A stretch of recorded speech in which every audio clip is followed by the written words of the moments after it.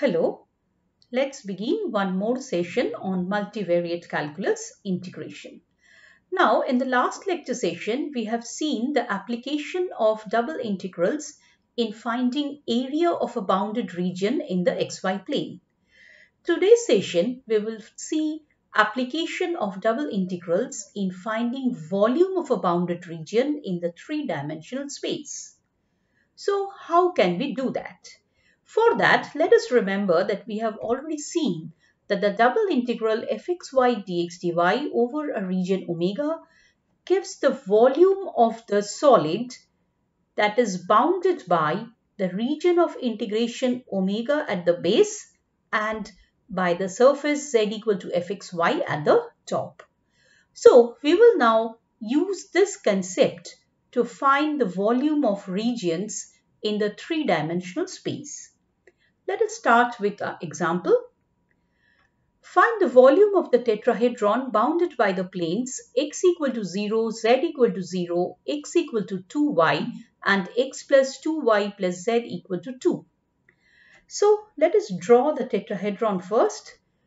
So the four faces of the tetrahedron are given by x equal to 0 that means the yz plane. One face is lying over here the z equal to 0 that means the xy plane. So we have the second face of the tetrahedron here on the xy plane. X equal to 2y so this is this face which cuts the xy plane in this straight line. X equal to 2y and the fourth face is this plane x plus 2y plus z equal to 2 and of course this now cuts the xy plane in this straight line which is going to be x plus 2y equal to 2 because z is 0 over here. Okay. So now the volume of the tetrahedron may be obtained by evaluating this double integral fxy dx dy where we will integrate over this base region omega. And what is the base region omega over here? Let us look carefully. The base region omega on the xy plane is nothing but this triangle. The triangle with the sides y-axis that means x equal to 0, x equal to 2y and the third one here is x plus 2y equal to 2. So now to evaluate the double integral our next task is to find the limits of x and y such that this base region omega is covered.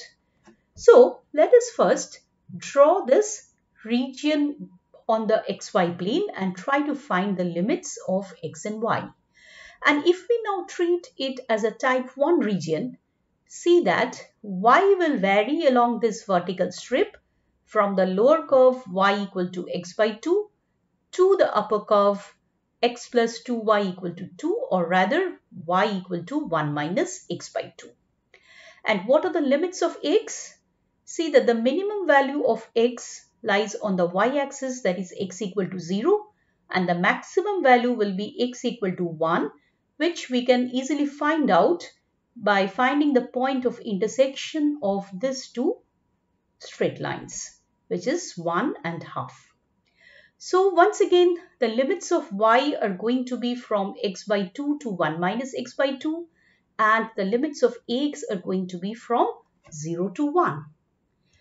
So therefore, we can say that this required volume lies under the graph of the function z equal to 2 minus x minus 2y. Why? Because the top surface will be the plane x plus 2y plus z equal to 2.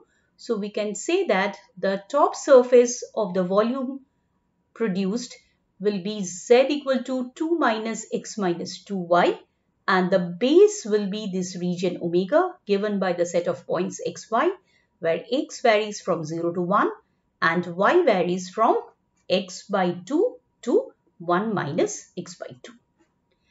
So therefore the required volume is now given by this double integral fxy dx dy over omega where fxy or z is 2 minus x minus 2y and we are integrating first with respect to y from the limits x by 2 to 1 minus x by 2 and then with respect to x from 0 to 1. So as we do the inner integral, we see that we get 2y minus xy minus y square. We next put the limits from x by 2 to 1 minus x by 2. So as we will put the limits, we will get an expression like this and then this has to be integrated with respect to x from 0 to 1. As you simplify this expression, we are going to get x square minus 2x plus 1 and we integrate with respect to x. So this is x cubed by 3 minus x square plus x and we put the limits from 0 to 1. The final answer is 1 by 3 which therefore gives the volume of the given tetrahedron.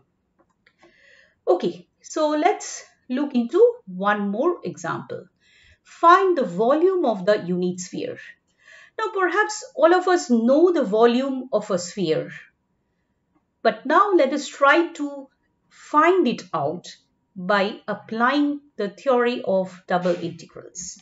So of course, let us draw the figure first. So here we have a sphere and its unit sphere, so the radius is 1.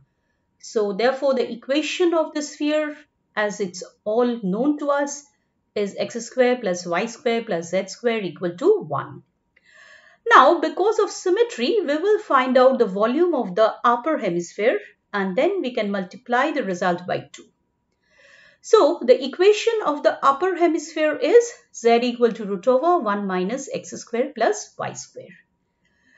Now see, if we want to find the double integral fxy dx dy, to get the volume of this upper hemisphere, see that your function fxy or z is of course this root over 1 minus x square plus y square. And what will be the base region? We can easily see that the base region will be this circle on the xy plane. And what is the equation of this circle? Of course, as we put z equal to 0, it's going to be x square plus y square equal to 1. Now, so let us evaluate the double integral, but we see that because the base region is a circle, it will be convenient to use polar coordinates x equal to r cos theta and y equal to r sin theta. So, as we will apply polar coordinates, see that the equation of the upper hemisphere or this z becomes root over 1 minus r square, right? So this is our function now, z r theta root over 1 minus r square. And what will be the limits of r? Of course, it's a unit circle, so r will vary from 0 to 1 and theta will vary from 0 to 2 pi. So therefore, the volume of the upper hemisphere can now be written as this is your z root over 1 minus r square. And we know that dx dy in polar coordinates is r dr d theta. So we have to now evaluate this integral over r where r is the circle. So we put the limits of r and theta so that the region r is covered and that is r is going from 0 to 1 and theta is going from 0 to 2 pi. Now we have actually separated the integrals and this 0 to 2 pi d theta of course gives us 2 pi. So we are left with evaluating this integral 0 to 1 root over 1 minus r square r dr. Now I think we can easily observe that we need a substitution now. So we put 1 minus r square equal to t. So this gives us minus 2r dr equal to dt.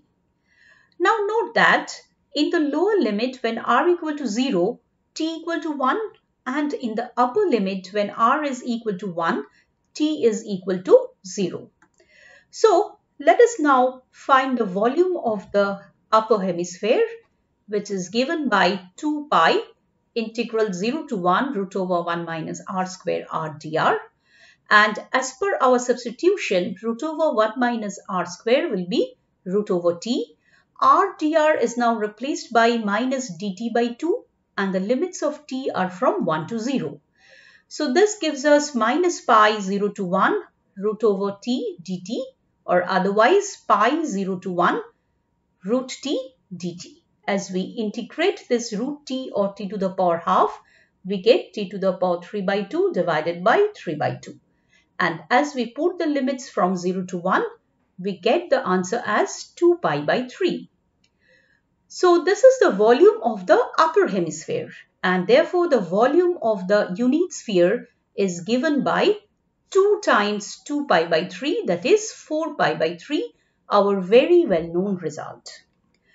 With this we will close today's session.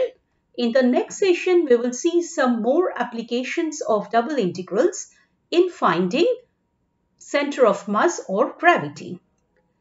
So thank you and goodbye till then.